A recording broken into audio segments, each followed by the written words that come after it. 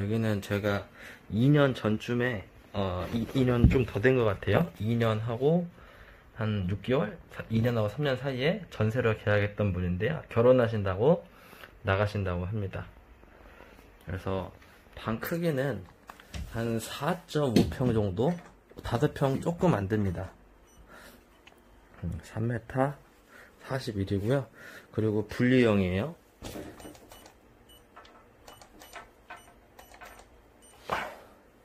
거의 4m 55, 4m 60 정도?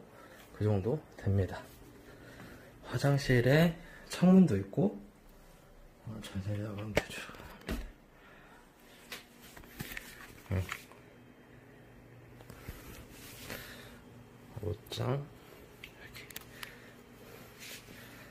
방, 이렇게, 이렇게 침대 들어가고, 옷장 들어가고, 침대랑 옷장 사이에 공간도 있고, 그리고 네, 이렇게 보면 됩니다.